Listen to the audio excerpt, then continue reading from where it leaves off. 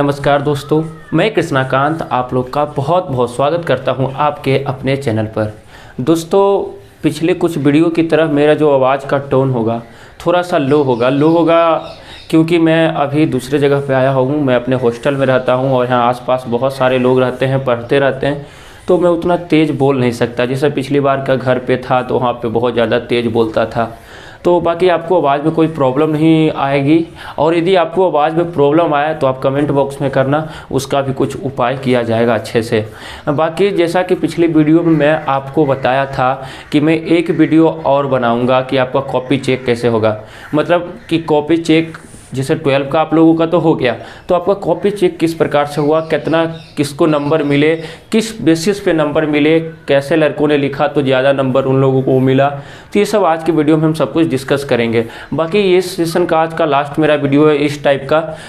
आज आपको मैं अच्छे से सब कुछ बता दूँगा। जैसा कि बिहार बोर्ड इस बार डेट भी आपको रिलीज़ कर दिया है कि 24 मार्च को आपका रिज़ल्ट आ जाएगा शाम तीन बजे। दोपहर तीन बजे 24 मार्च को आपका रिज़ल्ट आ जाएगा। बाकी बात करते हैं कि इस बार कॉपी कैसे चेक हुआ तो हम आपको एक बताते चल रहे हैं।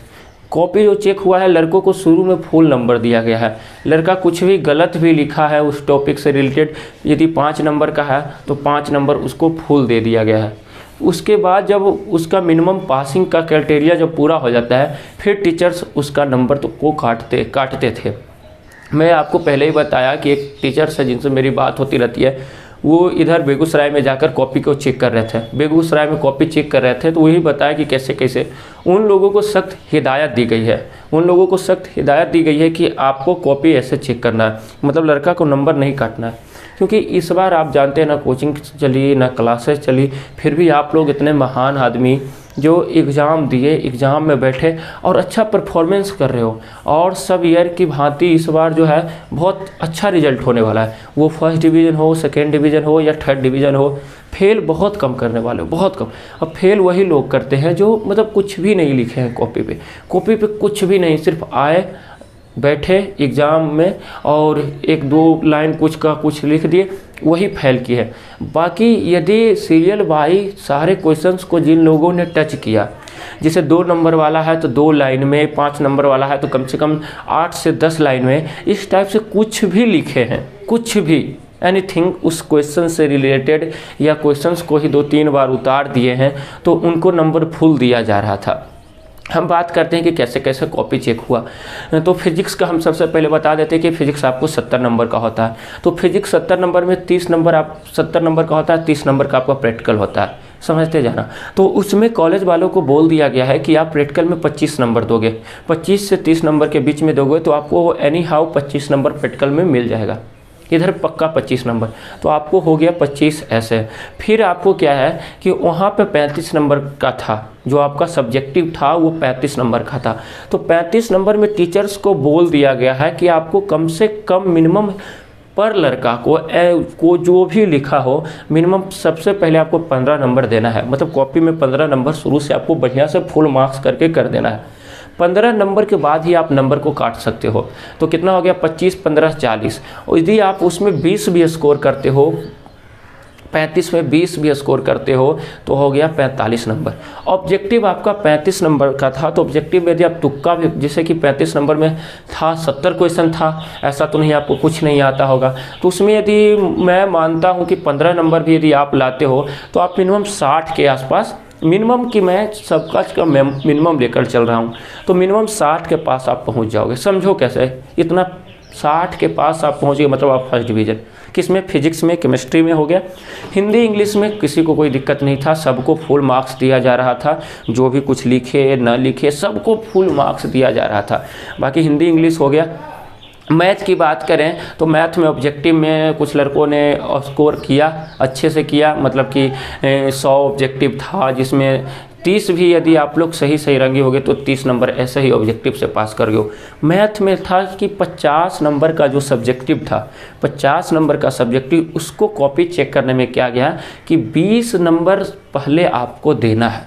बीस नंबर उसमें पहले आपको दे देना है। कुछ लड़का लिखा है, यदि दो नंबर का क्वेश्चन है तो सिर्फ़ क्वेश्चन उतारा है, या कुछ उसके ऐसे ही लिख दिया है आंसर नहीं मिल रहा है। बाकी प्रोसेस सही है, उसका आंसर नहीं है। बाकी उस ढंग से प्रोसेस किया जा रहा है तो यदि पाँच नंबर का सवाल है और सिर्फ़ आंसर नहीं मिला है तो आपको चार नंबर मिल मिल जाएगा। चार नंबर आपको मिल जाएगा।